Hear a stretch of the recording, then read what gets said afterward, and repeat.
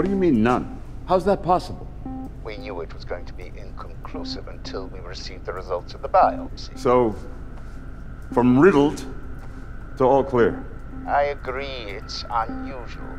Uh, CT imaging throws up uh, uh, anomalies from time to time. But really, this inconsistent. You'll have to come in for Wait a biopsy. second.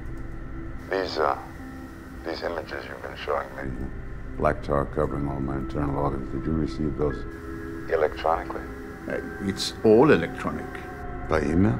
Uploaded to the hospital servers. I, I, I get it from there. Mother. Alarmingly, the tech industry has done absolutely nothing to combat the issue of election interference. And frankly, one has to ask why. In fact, one has to wonder what such corporations have to gain from their If I'm not mistaken, DCI Carey, you appear to be enjoying this. Gregory Knox's plan has been sabotaged, an attack on British democracy has been averted. Thanks to your work in particular, D.S. Flynn's family feel a strong sense of justice for Patrick. You starting to see the potential for good in this strange little program we call correction?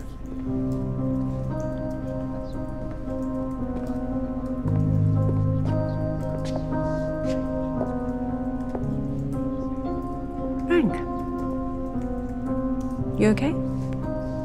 Never better. Fit as a mule, apparently. I mean, doctor says I may be looking at a benign stomach ulcer, but You mean huh? biopsy report came back. I don't have cancer. But that's incredible. It is incredible.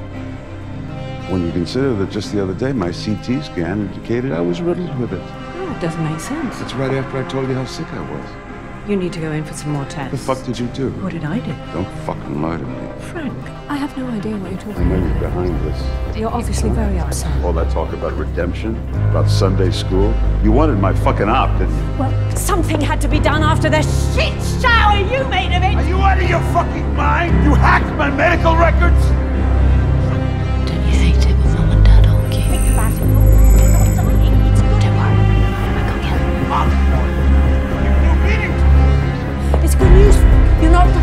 It is good. It's good Any news. idea what I've been through? I was up on the roof. You were? I was looking right down into the traffic. I could have jumped!